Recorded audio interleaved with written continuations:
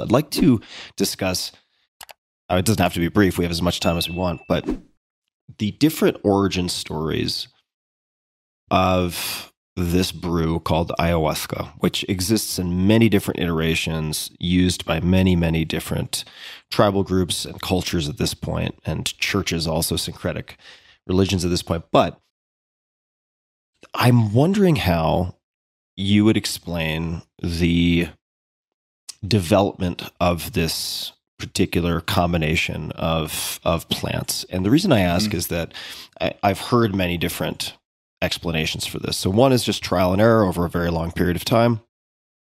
Another on the opposite end of the spectrum would be the plants told us.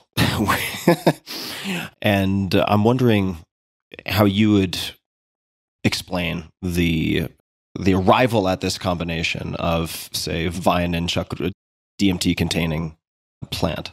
Well, first of all, you know, one thing I mentioned about ayahuasca or yahe is that the mm-hmm the idea we often have of it as we, you know, go down to uh, Iquitos, Upucallpa, the healers of the Shipibo, you know, as if it's sort of a quest for personal liberation, personal well-being. That's always been there in the traditional use of hallucinogens in South America. You know, the, the traditional syncretic cult of the cactus of the four winds and the curanderos who use San Pedro cactus on the mm-hmm. coast. And certainly the popularization of ayahuasca began with the Yahe letters between William Burroughs right. and Allen mm-hmm. Ginsberg. And it was Burroughs who turned up in Bogota, goes to the herbarium, meets who he calls Doc Schindler, who is Schultes, and Schultes sends him off and eventually gets gets him ayahuasca in Mocoa. And on that road between Sibundoy and Mocoa in the Upper Putumayo, when I was there in the 1970s, there were already, you know, individual healers sort of working with the gringo trade, but also working with individual campesinos. And of course, in all of these healing practices, the idea is that the imbalance of the individual is treated through the medicine, and whether the imbalance is caused by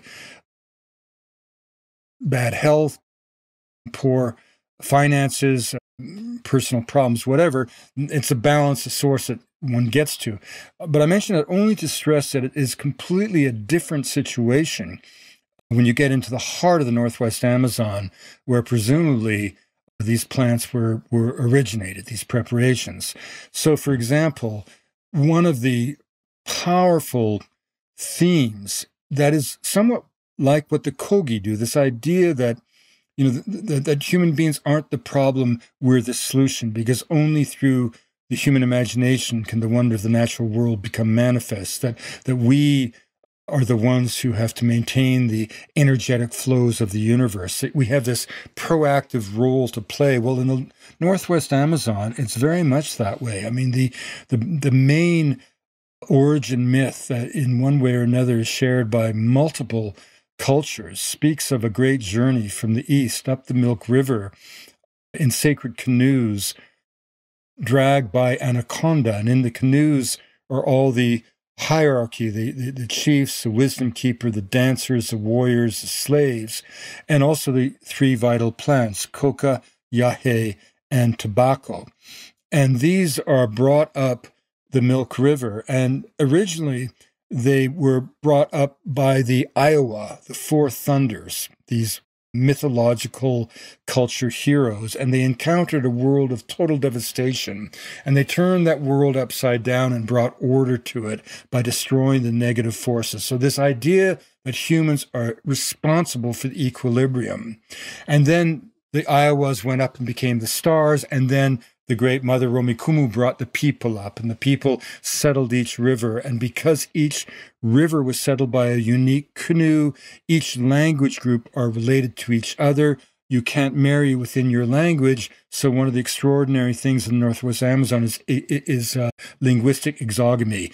When you marry, you must marry someone who speaks a different language. But the use of ayahuasca is not individualistic, it's collective. At these mm-hmm. great ceremonies that go on for two and three days, where the individuals, the men, all the people are there, but only men take Yahe, they go through two different kinds of ritual paraphernalia, feather work, by day, by night. And they literally, by taking ayahuasca, don't become symbols of the ancestors. They become the ancestors. And they fly away to all the sacred sites to pay homage to the natural world, to maintain the harmonic balance. So the critical thing here is that the use of the plant preparation has nothing to do with any individual's well being, but rather becomes a prayer, a ceremony for the collective well being and survival of the culture. And it becomes a mediator to the divine. And so the kinds of things you see in the kind of gringo ayahuasca business around Iquitos is not traditional in that sense. Now, as to how this knowledge was discovered, I mean, there are a couple possibilities. First of all, there is a species of Malpighiaceous vine, Diplopterys cabrerana, mm-hmm. which looks very much like Yahe and does have DMT in it. So maybe they saw that. Then they saw the opposite leaves. They saw the Psychotria coffee plant opposite leaves. Clearly, there's experimentation going on. But it's not just with ayahuasca. Take something like curare. The remarkable thing yeah. about curare, it's a muscle relaxant, but to affect the muscles, it has to get into the blood. You can drink as much curare as you want. And if you don't have some kind of wound in your stomach, you'll be fine. But again, how do you how do you rationally explain that process of elaboration you know and and you mentioned trial and error well i think statistically that is just exposed as a meaningless euphemism now i mentioned yep. that story about schultes saying you know the siona Secoya and the 17 varieties sing to you in a different key well, whatever that really means, when the people say the plants teach us, I'm quite prepared at this point in my life to take them at their word.